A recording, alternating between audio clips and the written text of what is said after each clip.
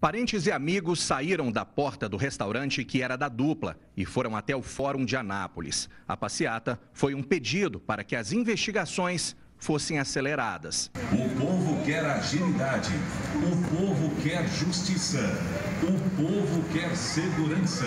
Os empresários Edmar Almeida, de 53 anos, e Elson Abreu, de 36, foram encontrados mortos em abril desse ano no lago de Corumbá 4. O caso está cercado de mistério porque a perícia revelou que nenhum deles morreu afogado. Mistério que, segundo o irmão de Edmar, continua até hoje, já que as investigações estão paradas há meses. Já tem 210 dias e sempre a mesma conversa, né? Assim, tem que definir qual, é, qual a polícia que vai investigar, se é de Lusiana, Silvana ou de Anápolis, e fica aquela conversa, conversa e nada definitivo. Para a cunhada de Elson, a sensação é de impunidade e também de impotência, uma vez que fica impossível cobrar o andamento das investigações tem que direcionar para onde que seja, ou Anápolis, ou Lusiânia, né?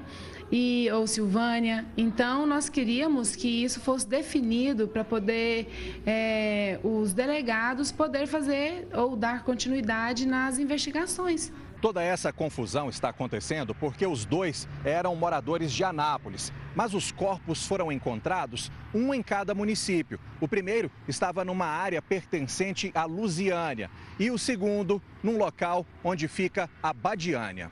A delegada regional da Polícia Civil admite que as investigações estão mesmo paradas, mas atribuiu isso ao Poder Judiciário, que ainda não decidiu qual município deve conduzir esse trabalho. O delegado de Silvânia, que faz parte dessa terceira regional, começou a fazer uma brilhante investigação, só que a partir do momento que ele fez pedidos ao Poder Judiciário de medidas cautelares, o juiz de Silvânia disse que não era o competente para dar essas decisões e encaminhou tudo para o Poder Judiciário de Anápolis. O que resta então é aguardar essa decisão.